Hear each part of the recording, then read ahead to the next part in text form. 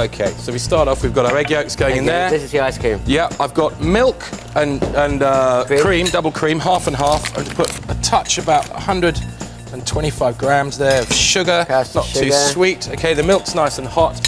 Want to put a vanilla pod into that, so we're just going to split that. Okay. Scrape a bit out, you know, get the seeds into here. Ed, why do you think you're winning? Do you think it's that Soho charm you have?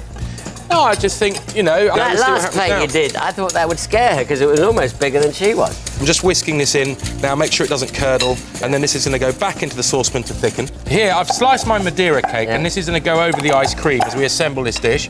I'm going to use a little bit of this raspberry puree. What we've got, we've made some raspberries, sugar, lemon juice. Mm-hmm. Then to get the pips out, you don't want the pips, you just pass it off. And that's Make what you a- got there. We've got that here. I'm going to put a bit in here, but the other thing we're going to do, allow that uh, mixture to cool once it's thickened into an ice cream machine. So you've made vanilla ice cream.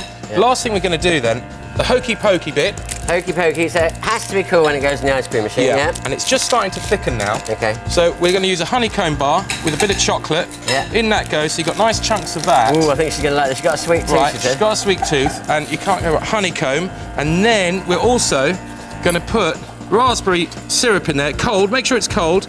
In it goes. You need to do this at the end.